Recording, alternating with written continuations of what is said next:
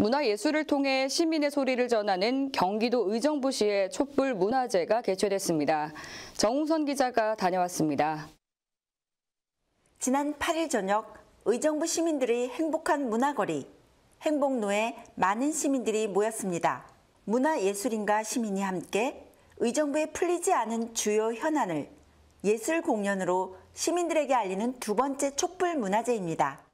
오늘 이 행사를 준비하신 모든 분들께 진심으로 감사드리고 의정부시를 책임질 분 이렇게 많이 나오셨는데 에, 오늘 여기 참가하신 뜻을 잘 아시고 앞으로 모든 일에 역점사업에 주시기를 부탁을 드립니다. 여러분들 늘 노고에 항상 응원합니다. 거리를 오가는 다양한 연령층의 시민들이 관심을 보였으며 6월 지방선거를 앞둔 지역 정치인들도 문제 해결을 호소하는 시민의 소리를 듣기 위해 방문했습니다. 청년들은 지역 사회 그리고 문제에 대해서 인지를 하고 있고 거기에 대해서 포기하고 있지 않다라는 말씀 드리고 싶습니다.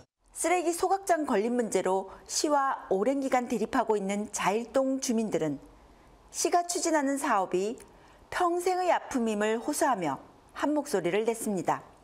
고산 신도시 입주민들은 어린 자녀들의 안전권, 학습권에 대한 불안감을 호소하며 고산 대형 물류센터 허가 처리를 요청했습니다.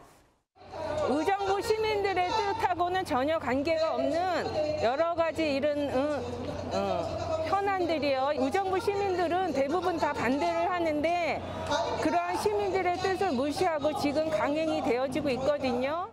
의정부 시민들은 그들의 소리를 예술을 통해 전했습니다.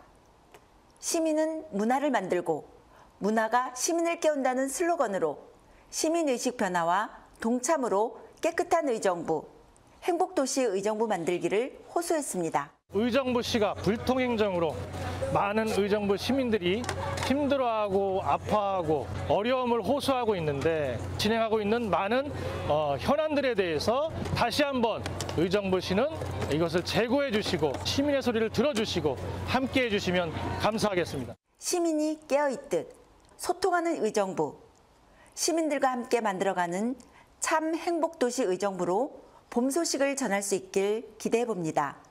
복지TV 경기방송 정선입니다.